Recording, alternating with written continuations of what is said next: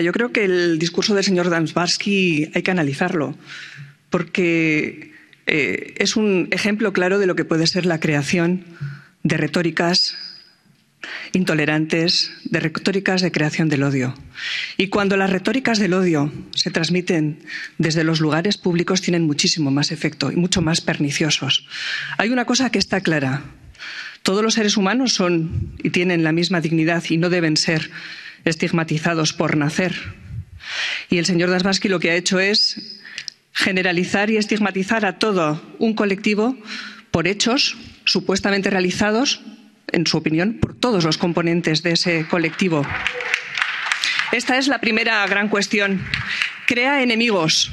Y vamos a ver, hay un círculo vicioso de las condiciones desfavorables y los estereotipos y la discriminación y los prejuicios y lastran a personas generación tras generación. Usted, señor Dasbarsky, en un niño no ve un niño, ve un enemigo. Y tenemos que romper con esto.